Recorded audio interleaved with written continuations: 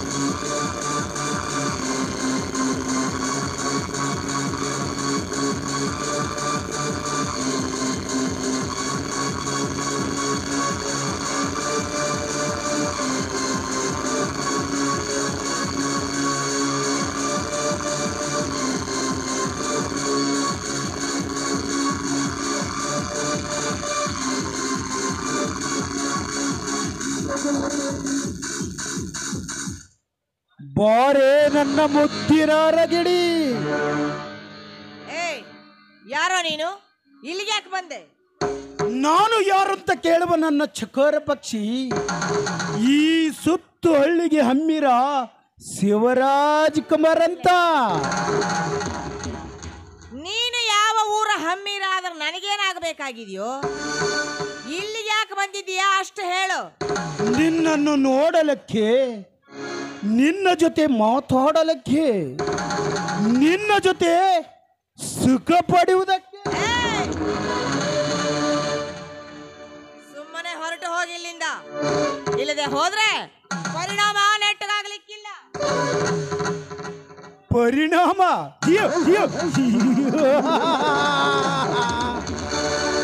ಇಲ್ಲಿಂದ ಸುಮ್ಮನೆ ಹೊರಟು ಹೋಗಲು ಬಂದಿಲ್ಲ.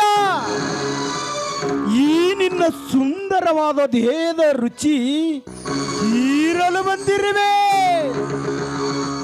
ಏ ಹೆಣ್ಣಿನ ರುಚಿ ನೋಡಲು ಬಂದಿರುವ ಕಪಿಯೇ ಹೆಚ್ಚಿಗೆ ಮಾತಾಡದೆ ಒಂಟಿ ಹೆಣ್ಣಿನ ಜೊತೆಯಲ್ಲಿ ಈ ರೀತಿ ಮಾತಾಡ್ತಿದ್ದೀಯಲ್ಲ? ನಾಚಿಕೆ ಆಗುವುದಿಲ್ಲವೇನೋ ನಿನ್ನ ಜನ್ಮಕ್ಕೆ? ನಾಚಿಕೆ. ನಾಚಿಕೆ ಪಡುವ ವಿಷಯ ಇದರಲ್ಲಿ ಏನಿದೆ?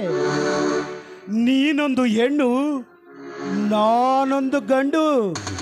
ಬೋರೆ ಅರಗಿಣಿ ಬಂದು ಸುಖ ಒಂದು ಬೋ.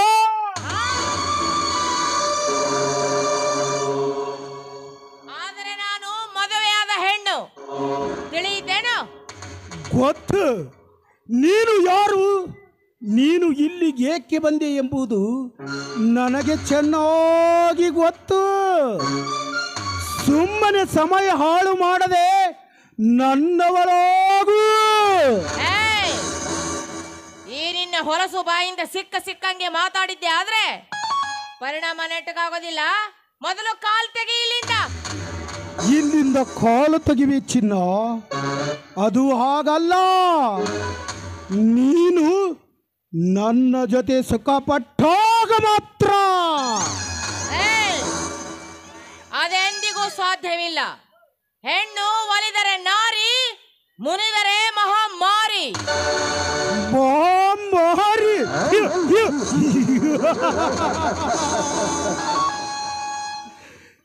ನಿನ್ನ ಕೊಟ್ಟ ಬೆದರಿಕೆಗೆ ಹೆದರುವ ಗಂಡು ನಾನಲ್ಲ. ಸುಮ್ಮನೆ ಮಾತಿನಲ್ಲಿ ಸಮಯ ಹಾಳು ಮಾಡಬೇಡ.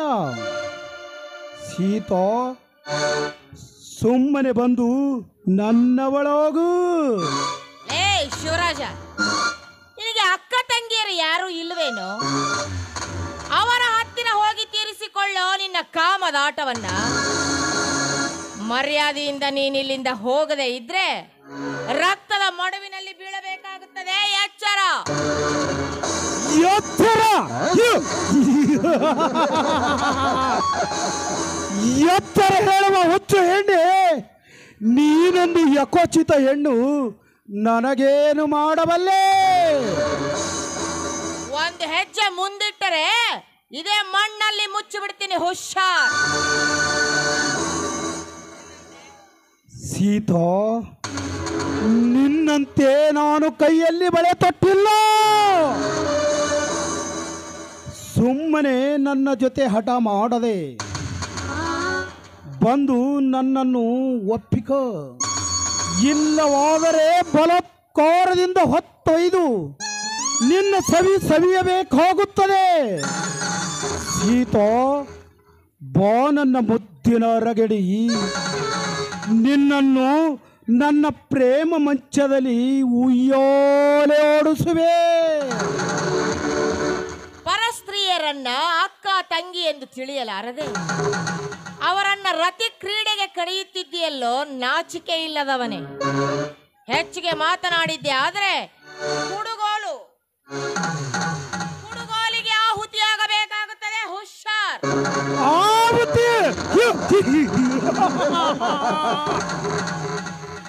ಸೀತೋ ನನ್ನ ಪ್ರಾಣ ತೆಗೆಯಬೇಕಾದರೆ ನಿನ್ನಿಂದಲೂ ಸಾಧ್ಯವಿಲ್ಲ. ಆ ನಿಮ್ಮಪ್ಪನಿಂದಲೂ ಸಾಧ್ಯವಿಲ್ಲ. ಏ ಸಾಧ್ಯ ಇಲ್ಲ ಅಂತ ಗಂಟಲು ಹರಿಯೋ ಹಾಗೆ ಯಾಕೋ ಕಿರ್ಚ್ಕೊಳ್ತಾ ಇದ್ದೀಯಾ? ಏ ಶಿವರಾಜ, ನೀನು ಒಬ್ಬ ಅಪ್ಪನ ರಕ್ತಕ್ಕೆ ಹುಟ್ಟಿರೋ ಹಾಗೆ ಕಾಣಿಸ್ತಾ ಇಲ್ವೋ? ನಿನ್ನ ವಂಶ ಸೀತೋ, ನೀನು ಏನು ಬೇಕಾದರನ್ನು? ನೀನು ಮಾತಾಡುವ ಮಾತು ಒಂದೊಂದು ಹೂವಿನ ಹಾಗೆ ಗಮ ಗಮಿಸಿ ಚುಂಬನ ಕೊಟ್ಟಂತೆ ಆಗುತ್ತದೆ. ಸೀತೋ, ಸಮಯ ವ್ಯರ್ಥ ಹಾಳು ಮಾಡಬೇಡ.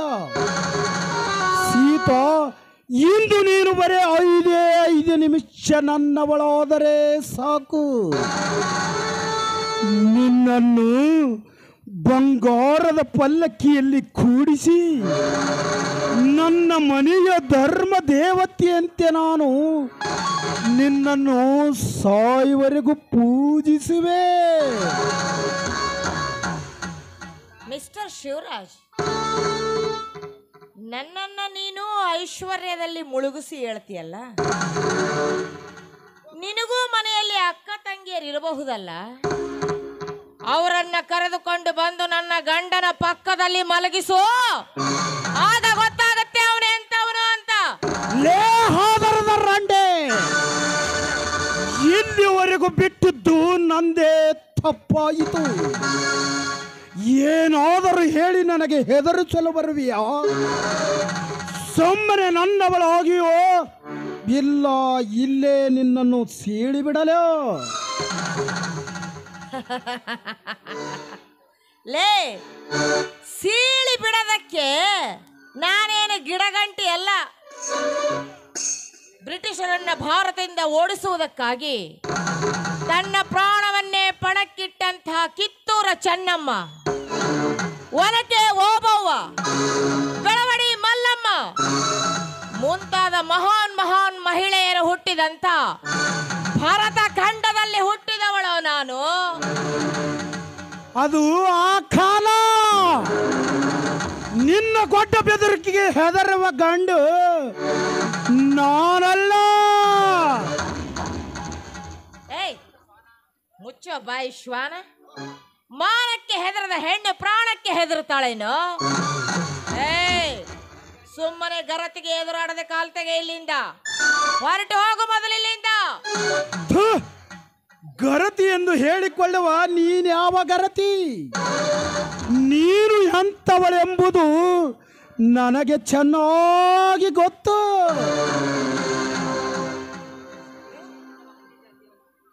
ಹೇಸಿಗೆ ತಿನ್ನುವಂತ ಹಂದಿಯ ಜಾತಿಯವನೇ.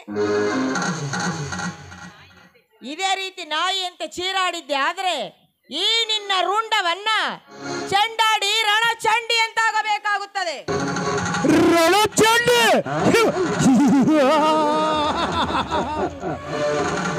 ನನ್ನ ರುಂಡ ರಣ, ನನ್ನ ರುಂಡ ಚೆಂಡಾಡುವ ನೀನೆಂತ ರಣಚಂಡಿ ಎಂಬುದು ನನಗೆ ಚೆನ್ನಾಗಿ ಗೊತ್ತು. ಸೀತಾ, ಈ ಸಮಯ ಸುಮ್ಮನೆ ಹಾಳು ಮಾಡಬೇಡ. ಸೀತಾ, ಈ ಮನ್ಮತ್ತ ಶಿವರಾಜನ ತೋಳ ತೆಕ್ಕಿಯಲ್ಲಿ ಬಂದು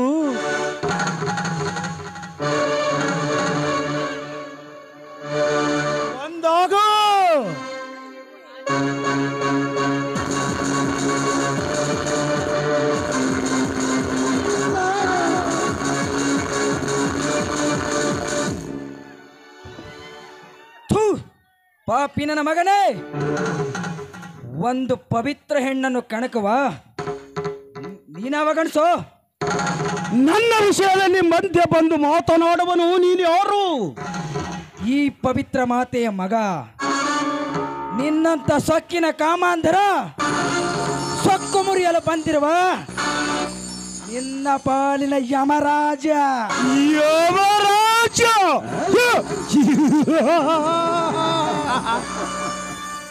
ಸುಮ್ಮನೆ ನನ್ನ ತಂಟೆಗೆ ಬರದೆ ಎಲ್ಲಿಂದ ತೊಲಗ? ಅವನನ್ನ ಸುಮ್ಮನೆ ಬಿಡಬೇಡಪ್ಪ. ಇಂಥವ್ರು ಭೂಮಿಯ ಮೇಲೆ ಬದುಕಿರಬಾರದು ಅವನಿಗೆ ಸರಿಯಾಗಿ ಪಾಠ ಕಲಿಸು. ಅತ್ತಿಗೆ ನಿಮ್ಮನ್ನು ಬಲತ್ಕಾರ ಮಾಡಲು ಬಂದ ಈ ಸೂಳೆ ಮಗನಿಗೆ ಏನು ಮಾಡಲಿ? ಇವನ ರುಂಡವನ್ನು ಕಡಿದು ಮುಂಡದಿಂದ ಬೇರ್ಪಡಿಸಲಿ? ಅಥವಾ ಇವನನ್ನು ಇಲ್ಲೇ ಸುಟ್ಟು ಬೋಧಿ ಮಾಡಲಿ? ಹೇಳು ಅತ್ತಿಗೆ ಹೇಳು. ಏನು ಮಾಡಲಿ ಈ ಹಲಕಾಣನ ಮಗನನ್ನು?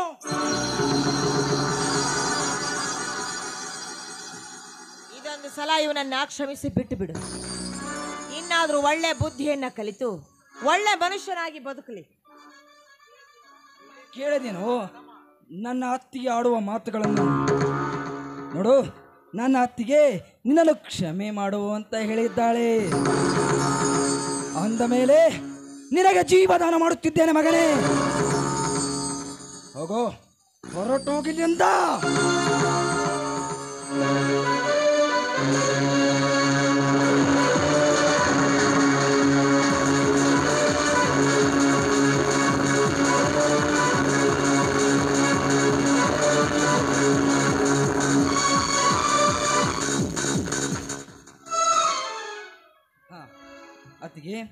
ನೀನೇಕೆ ಈ ಸಮಯದಲ್ಲಿ ಬಂದೆಯಮ್ಮ ಅಲ್ಲಪ್ಪ ಬೇಗ ಮನೆಗೆ ಊಟಕ್ಕೆ ಬರ್ತೀನಿ ಎಂದವ್ ನೀನು ಬರಲಿಲ್ಲ. ಶ್ರೀಮಂತರ ಮನೆಗೆ ಹೋದ ನಿಮ್ಮ ಅಣ್ಣನೂ ಬೇಗ ಬರಲಿಲ್ಲ. ನಿಮಗೆ ಬುದ್ಧಿ ಕೊಟ್ಟು ಬರಬೇಕು ಅಂತ ನಾನೇ ಹೊಲಕ್ಕೆ ಬಂದೆ. ಮೈದುನ ಇಲ್ಲಿ ನಡೆದ ವಿಷಯನ ದಯವಿಟ್ಟು ನಿಮ್ಮ ಅಣ್ಣನ ಮುಂದೆ ಹೇಳಬೇಡಪ್ಪ. ಇಲ್ಲ ಅತ್ತಿಗೆ ಇಲ್ಲಿ ನಡೆದ ಪ್ರಕರಣವನ್ನು ಅಣ್ಣನ ಮುಂದೆ ಹೇಳುವುದಿಲ್ಲ. ಹಾ ಅತ್ತಿಗೆ ನಡೆಯಮ್ಮ ಮನೆಗೆ ಹೋಗೋಣ ನಡೆ.